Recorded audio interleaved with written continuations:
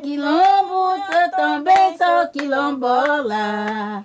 A minha luta é todo dia, toda hora.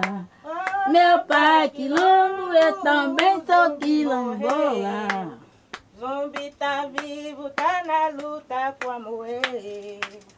Meu pai quilombo, eu também sou quilombola. A minha luta é todo dia, toda hora. O Nação dessa semana traz um documentário que apresenta duas danças tradicionais resgatadas em 2008 pela comunidade do Quilombo Laranjeira de Grapiúna, no sul da Bahia. Dirigido pelo jornalista Fabrício Persa, Dançando Negro é uma costura audiovisual das criações artísticas afro-brasileiras, a Zabelinha e o Enrolador.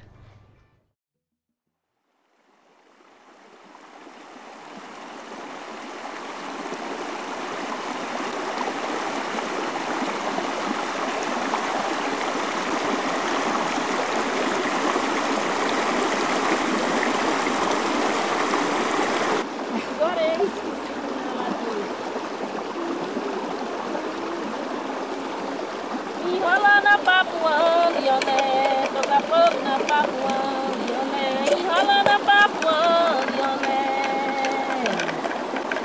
Mas não é assim que canta não, assim, canta assim.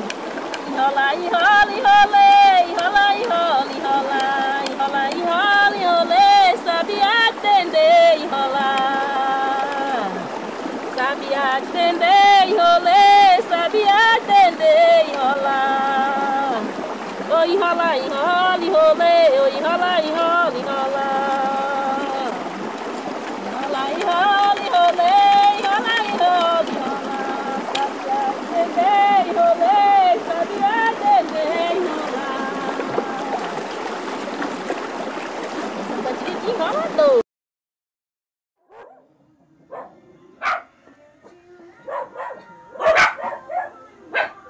Desde que eu pra aí cheguei, e antes de eu vir pra aqui, que morava lá por longe, via falar nessa laranjeira, via falar nessa laranjeira. Daí vim morar ali vizinho, essa laranjeira. Agora por quê? Botaram o nome nessa laranjeira, não sei. Não sei que é porque tinha muita laranja, eu não sei. Porque em Tuberá tinha um lugar chamado Jaqueirá e só tinha dois pés de jaca. Aqui na área tem tudo novo. Coco, cacau, piaçaba.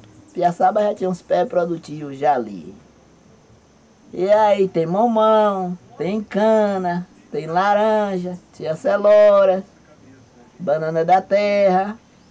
Sim, tem uma sering... tem seringueira que agora nós estamos vendendo já. É o que sai para fora, é a seringueira e a mandioca, que sempre a gente faz uma farinha, vem e vende ao povo.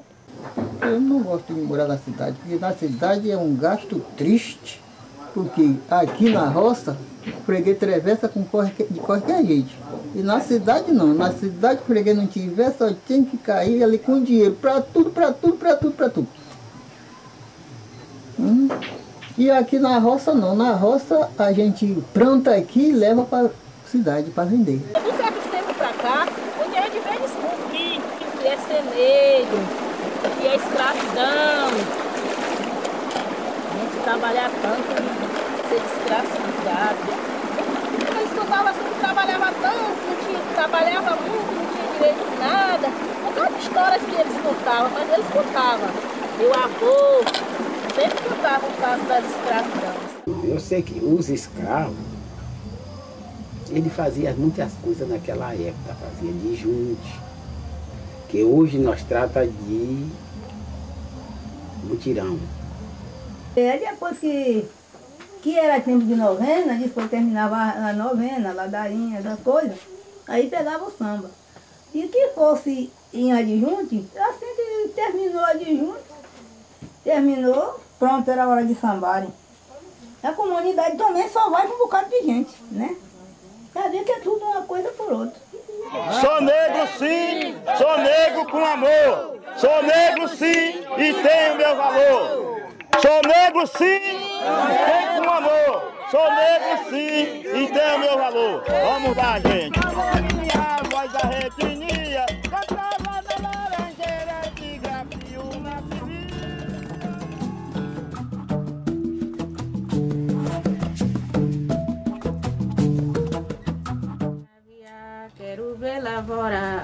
lavorar canaviar, essa cana madura.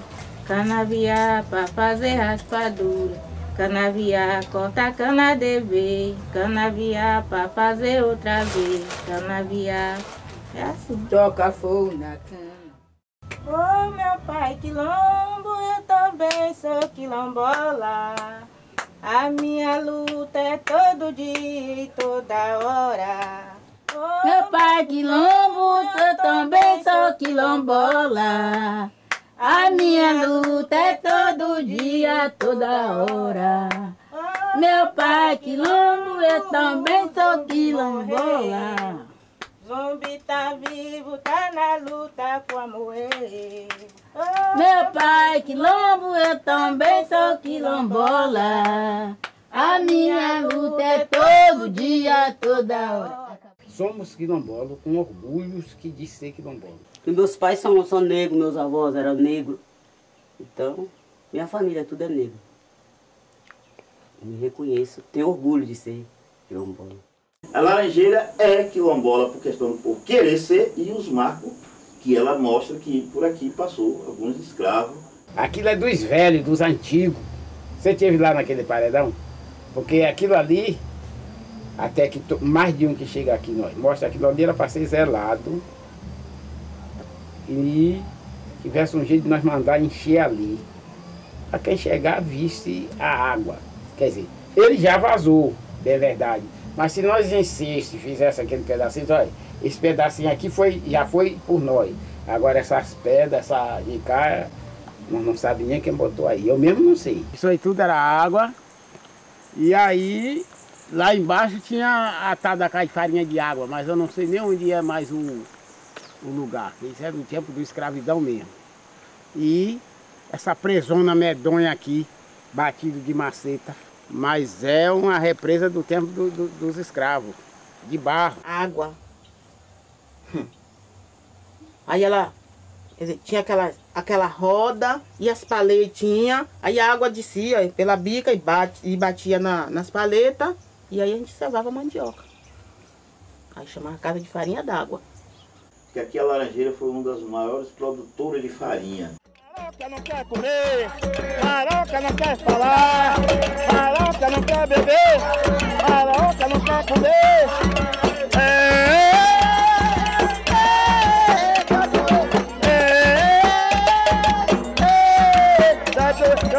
que maroca tem, maroca não quer comer, maroca não quer falar, maroca não quer andar, maroca não quer dançar, maroca não quer dormir. Tá doente, tá doente, tá tá doente.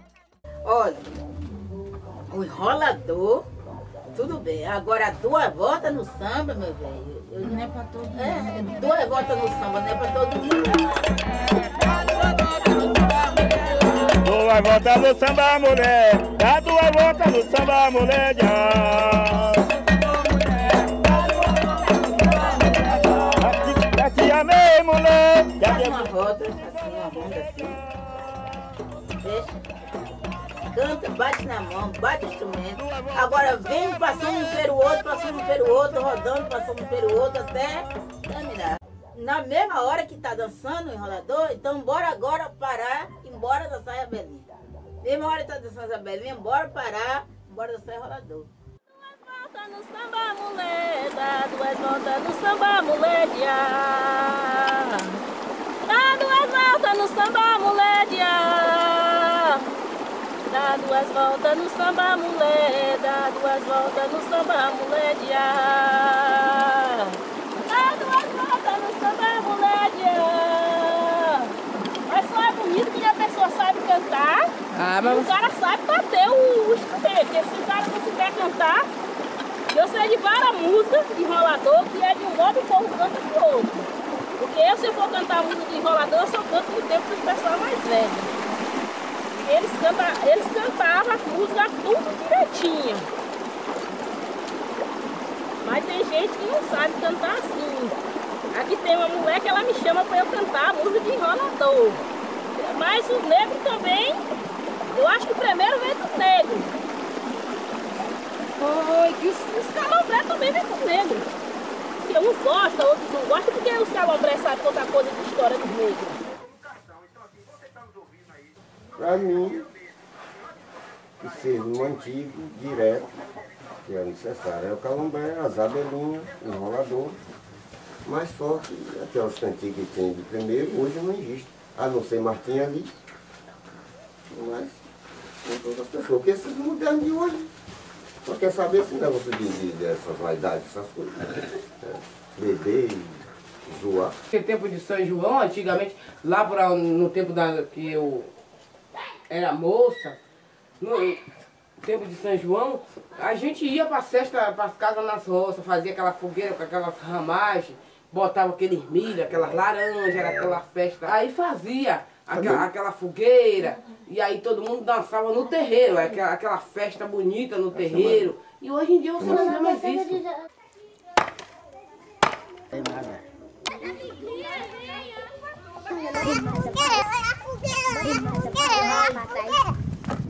Tem um pano, faz jabelinha e um orador sem pano. Eu vou pro de baixo. Eu vou pro de baixo. Jabelinha! Jabelinha, jabelinha, jabelinha, come pão. Jabelinha, jabelinha,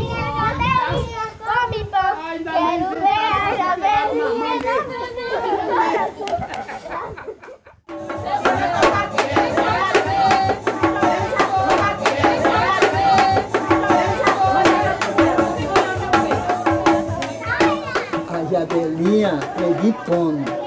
Um de lá, outro de cá. Três pra lá e três pro cá. Quando canta Zabelinha, Zabelinha, Zabelinha, come pão. Aquele de cá mergulha por debaixo daqueles panos, sai lá e já volta em pé com os panos pra cá e aí vai mandando o braço.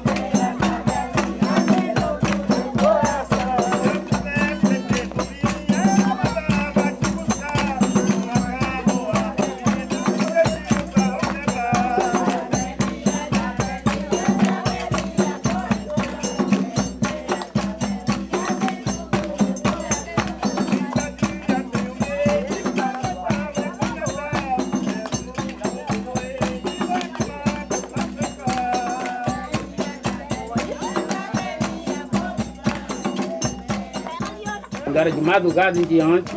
Bom, agora nós vamos dançar jabelinha. Pegava aqueles panos. Bora pra jabelinha. Quando acabar da jabelinha, vamos enrolador.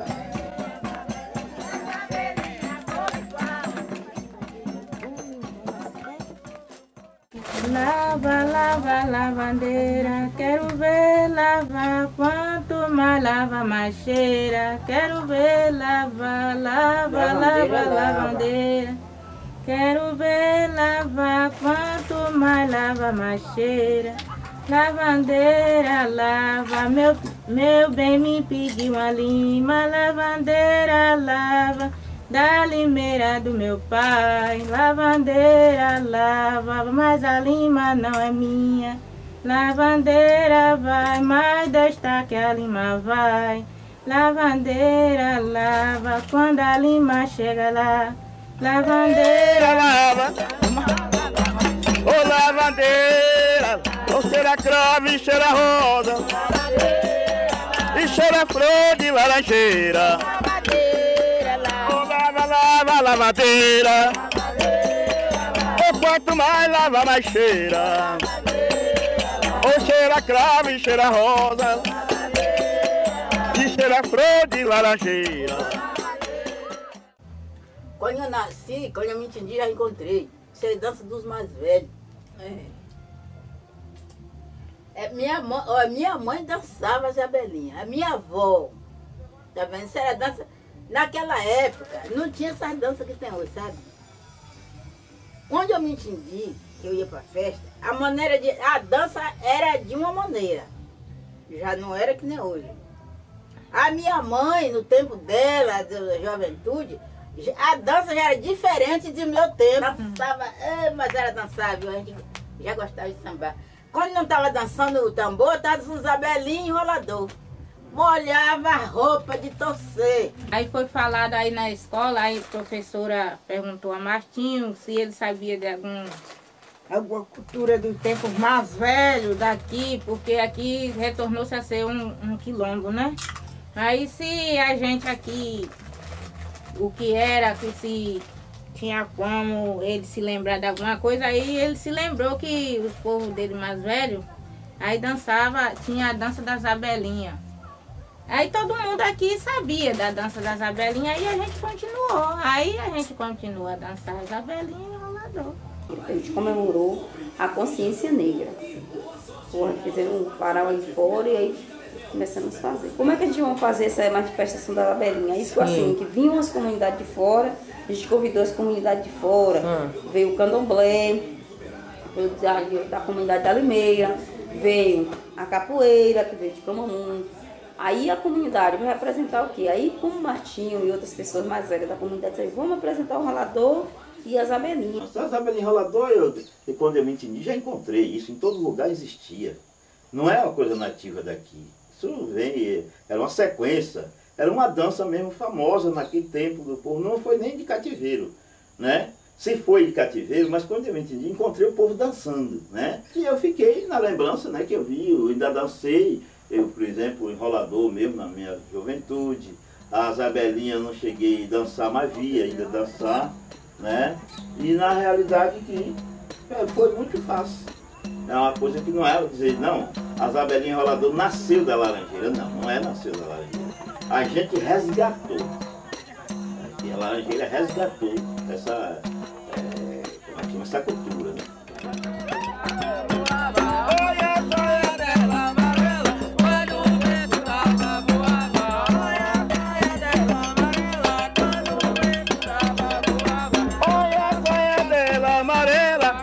Valorizar a só não, mas sim a sua cultura local, né?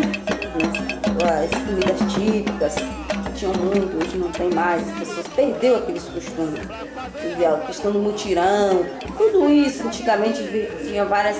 É, mutirão assim, tapar uma casa, ninguém vê mais isso. Né? Vê mais isso. Então foi questão, foi.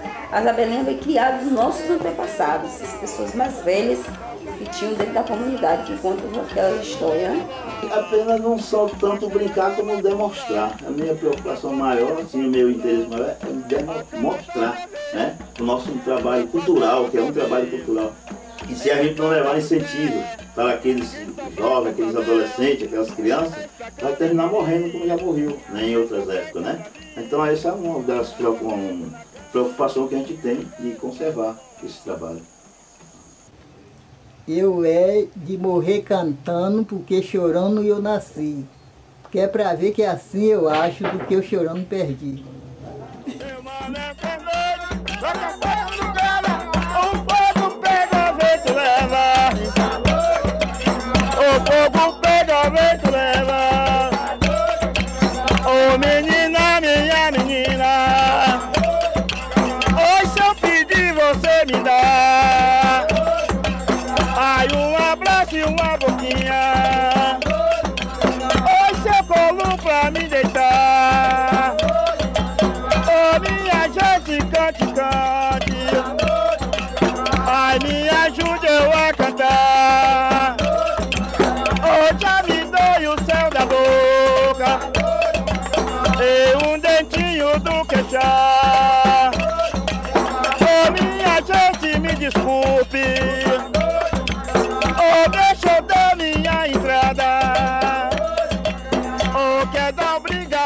homens. Agora a gente vai conversar com o diretor desse trabalho, o Fabrício Persa, que vai falar com a gente lá do Rio de Janeiro. Fabrício, como é que tu ficou sabendo do resgate dessas danças pelos quilombolas? Eu soube dessas manifestações das abelhinhas e do enrolador através de uma notícia vinculada no site da prefeitura de Grapiúna. Era uma notinha falando sobre uma apresentação deles.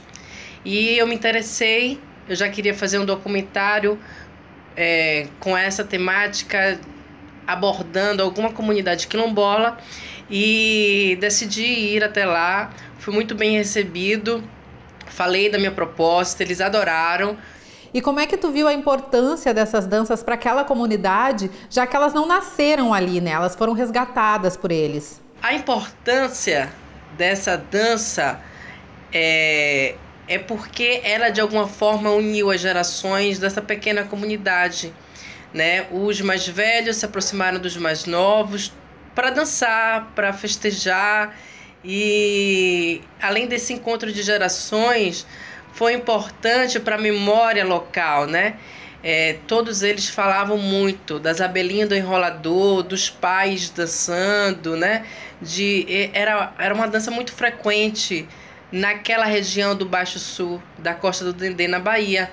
E depois de muito tempo esmorecida, eles decidiram resgatar como um trabalho da, da pequenina escola da comunidade. Tu tens outros trabalhos relacionados à ancestralidade negra? Pretende continuar trabalhando nessa linha de registro de cultura negra e afro-brasileira? Esse foi meu primeiro trabalho relacionado à africanidade brasileira, à afrodescendência maravilhosa. E depois disso eu senti a necessidade, depois de filmar, eu senti a necessidade de exibir o filme na comunidade, consegui aprovar um projeto onde eu exibir o filme na comunidade e em mais outras duas comunidades quilombolas da Costa do Dendê. Eu pretendo continuar falando sobre a negritude, sobre a cultura afro-brasileira. É um tema que eu adoro e que eu me debruço sempre que eu posso é, em ações, ações de legitimar essa cultura afro que é maravilhosa no nosso Brasil.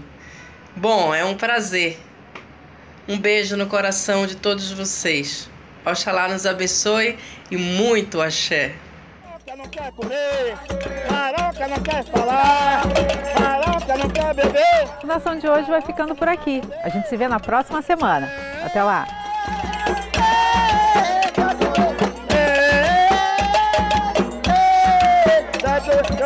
que maroca tem, maroca não quer comer, maroca não quer falar. Maroca não quer andar, maroca não quer dançar, maroca não quer dormir. Hey, hey, hey, hey, hey, hey, hey, hey, hey,